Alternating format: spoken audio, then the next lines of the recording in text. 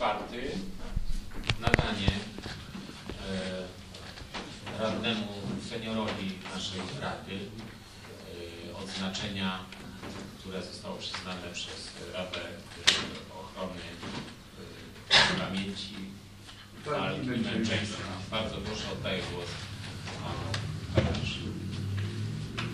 Szanowni Państwo, e, Przewodniczący Rady Ochrony Pamięci Walki i Męczeństwa profesor Władysław Bartoszewski przyznał i nadał naszemu radnemu Zdzisławowi Rakoczemu złoty medal opiekuna miejsc pamięci narodowej.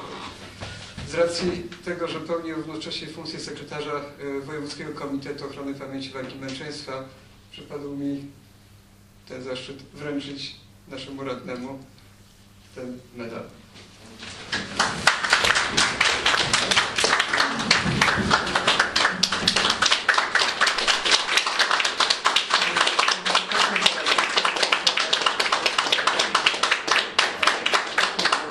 Gratuluję.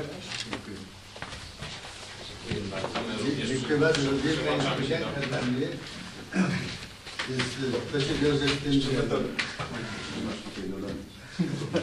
z tym się wiąże, że my w naszym stowarzyszeniu jeździmy, bo moja kolega przewodniczący jest z Litwy i miał na Białoruś na Litwę i tam na grobach Polaków e, dajemy, staramy się o to, żeby ludzie, którzy chcą opiekować się tym, to robili.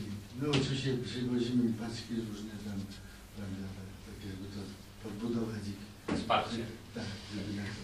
No więc e, dziękuję bardzo raz, że mój przewodniczący i ja byliśmy ostatnio na, e, tam gdzie jest, nie nie pomnik, ale gdzie jest pomnik Józefa Piłsudskiego.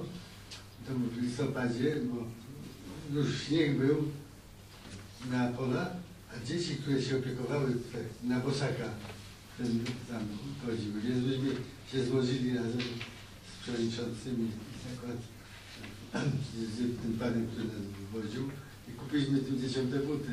No, oni to napisali do, do, do, tam do gazety, no to się przyczyniło. Helen, dziękuję bardzo, było miło i bardzo się cieszę, że to mnie spotkało. Dziękuję. Gratuluję.